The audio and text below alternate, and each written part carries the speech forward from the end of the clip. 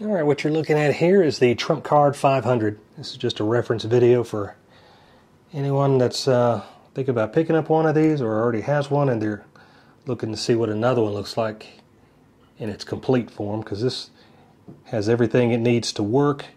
Unfortunately, the hard drive that's in it does not work, so I can't show it in action, but it does have all the pieces. So if you're looking to compare yours to this one, that's what this video is all about. So here we are looking at the front. It's got a uh, disk activity light and a power light. This only came on when it was accessing. Of course, this one stayed on the whole time it was plugged in.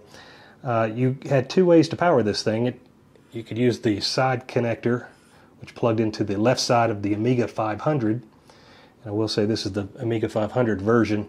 They did make an Amiga 2000 version. Uh, it was just a card that, that went into one of the empty slots actually inside the computer. So uh, with the 500 being a slim design, it didn't have that option. So had to connect to the side. So you could power it by just plugging it into the side of the Amiga, and it would go up the Amiga's power supply, provided you didn't have a lot of other stuff plugged in as well, because it would take up near the limit of what a stock power supply would do. It does have the option in the back, and I'll show you that in just a moment, where you can plug external power into it, and then if you have, say, an external floppy or two plus this, you wouldn't run out of wouldn't run out of power. Okay, let's uh, look at the back side of it. Okay, here we are in the back. It's got an empty port, so you can put an RS-232 uh, type connection in there. Uh, if you wanted to daisy chain other stuff to it.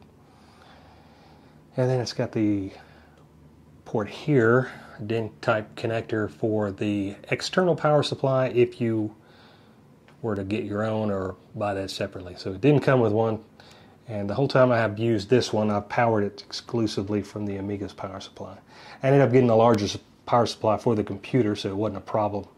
But early on, if I plugged that in and then tried an external floppy, it, it just did not have power enough to, for everything. And you'd see your, your hard disk disappear midstream. All right, so here we are with a connection that goes into the uh, side of the left side of the Amiga. You'd have to pop the trap door that's covering that port off, and then you just slide that in, and still a little bit taller than the Amiga 500 did.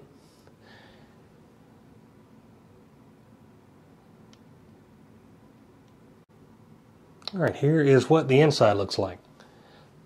So if I understand this correctly, if you bought the version just for the Amiga 2000, this is the portion you would get. And you can see it's going into this connector here. And it's of an expansion that's unused in this scenario here, so you can plug a second card in as a pass-through. And uh, there's the hard drive itself. These are SCSI hard drives. This one, uh, I just can't get it to spin up. But this unit, I bought it in 1990 for $650. First one they sent me, the hard drive was bad and it, it had the click of death as soon as it came out of the box. So sent it back, they gave me another one. And this one worked uh, up until just a few years ago. So it was quite a good uh, way to add a hard drive to your Amiga 500. Of course, they solved this problem in the later models, the 600 and the 1200, by adding the ability to uh, attach IDE hard drives, which made it a lot cheaper, a lot easier to add an expansion. So this was this was before those days. Yeah, that's uh, that's what it looks like cracked open. Let me get a little closer shot there, and we'll see what the chips look like. All right, here is a closer look at the system board. And I have seen different variations of this particular chip. So uh, you can compare that to the version that's on yours if you have one. To get this to work, you do need the driver disk, the application disk that came with it. You can download those off of pretty much any of the Amiga sites that have ADF files. So it's not too hard to come by, but you do need that software. And here's a closer look at the connection point. This is the side that goes into the Amiga.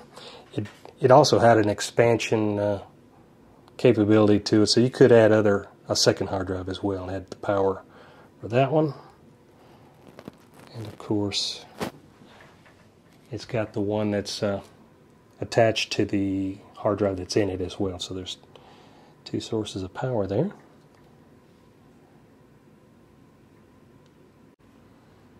And the hard drive that uh, I got it with is a Seagate model ST 1096N, as in November.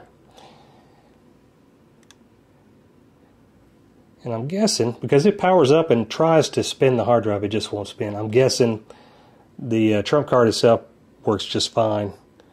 So uh, I think what I'm going to try to do is, instead of trying to find another SCSI hard drive, which takes a lot of power, by the way, from the computer, I'm going to try to find a, uh, a SCSI to SD solution for this and uh, see if that is a more power efficient option. So, yep. That is a quick look at the Trump Card 500 or the Amiga 500. All right, until next time.